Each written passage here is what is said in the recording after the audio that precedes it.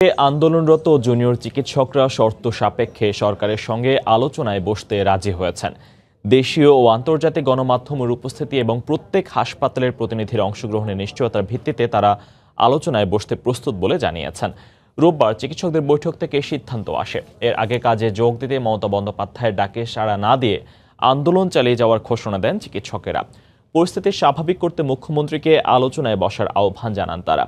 আন্দোলনের কারণে পশ্চিমবঙ্গের চিকিৎসা সেবা ব্যাহত হচ্ছে। হাসপাতালগুলোর বহির্বিভাগে রোগীদের চিকিৎসা দেয়া প্রায় বন্ধ হয়ে গেছে। গত সপ্তাহে কলকাতার নীলরতন মেডিকেল কলেজের একজন ইন্টার্ন চিকিৎসককে রোগীর স্বজনেরা মারধর করেন। এ ঘটনার পরপরই রাজ্য জুড়ে চিকিৎসকরা নিজেদের নিরাপত্তার দাবিতে আন্দোলনে নামেন।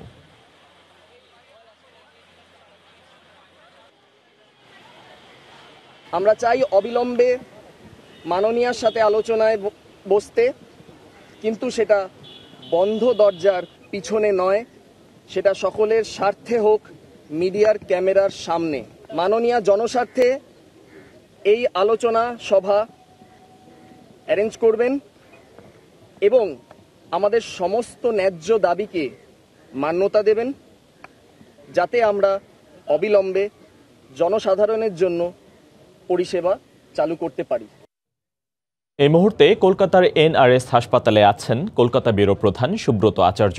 সরাসরি যাচ্ছে তার কাছে। সুব্রত। ফয়সাল, আপনাকে ধন্যবাদ। পরিস্থিতি আমরা এর আগে যেটা বলেছিলাম যে একটি হয়তো সমাধানের উত্তরণের পথ খুঁজে নেওয়ার একটি আভাস আমরা পাচ্ছি। আমার পেছনে এনআরএস হাসপাতাল, হাসপাতালের একাডেমিক ভবন। এখানেই সকাল দশটা থেকে যারা আন্দোলনকারী চিকিৎসক, তাদের বৈঠক চলেছে এবং ছ ঘণ্টা বৈঠক শেষে কিছুক্ষণ আগে কিন্তু তারা একটি প্রেস রিলিজ দিয়েছে। এখানে সেখানে আমাদের দর্শক আপনারা দেখতে পেরেছেন যে তারা বলেছেন যে বন্ধ দরজার মধ্যে নয় এবং অবশ্যই সেটি নির্ধারিত জায়গায় মানে কোন জায়গাতে এই বৈঠকটি হবে সেটি কিন্তু মুখ্যমন্ত্রীর তরফ থেকে আহ, বলে দেওয়া হবে এবং তারা শর্ত দিয়েছেন যে যে বৈঠকটি হবে সেই বৈঠকটি বৈঠকে শুধু আন্দোলনরত চিকিৎসক তারাই থাকবেন না কলকাতার এবং পশ্চিমবঙ্গের মেডিকেল কলেজ হাসপাতাল এবং সমস্ত হাসপাতালের প্রতিনিধিরা থাকবেন এবং অবশ্যই গণমাধ্যমের প্রতিনিধিরাও সেখানে থাকবেন।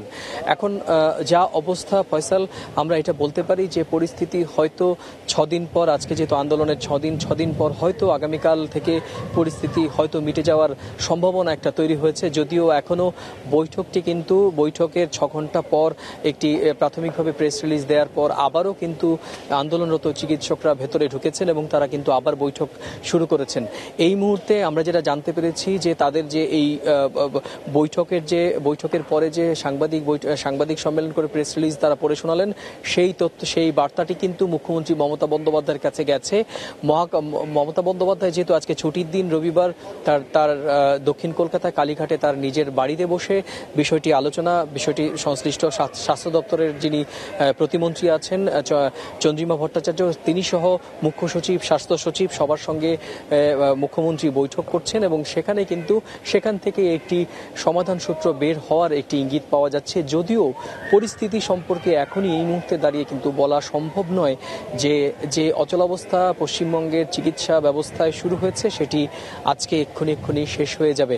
আপনি জানেন যে দশ তারিখে দশ তারিখে কিন্তু এখানকার এনআরএস এর একজন চিকিৎসক জখম হয়েছিলেন রোগী পক্ষ থেকে এবং তারপরে এই আন্দোলন কিন্তু শুরু হয় এবং যে আন্দোলনের আজকে পর্যন্ত এখন এই অবস্থা চলছে। তো ফয়সাল, এই ছিল আমার কাছে পশ্চিমবঙ্গের ভেঙে পড়া চিকিৎসা ব্যবস্থা নিয়ে সর্বশেষ তথ্য।